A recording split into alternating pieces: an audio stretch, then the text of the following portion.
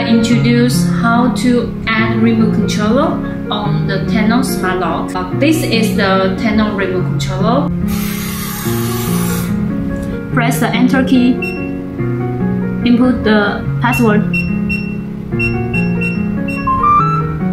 and then press the add users. Press up and down to choose the add remote user input the remote user ID. There are total 8 user IDs for the remote controller. And then press the button on the remote controller over 3 seconds. Until you hear the pips from the lock and it shows the add successfully. So let's check how it's working.